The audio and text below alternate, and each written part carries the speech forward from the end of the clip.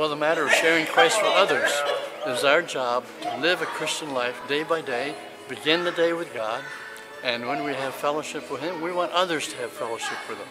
So He talks to us through His Word, and we talk to Him through prayer. And then throughout the day, we share Christ with others as He leads us. The Holy Spirit within us will help us to have the power to live a godly life and also that we might share Christ with others. That's what it's all about.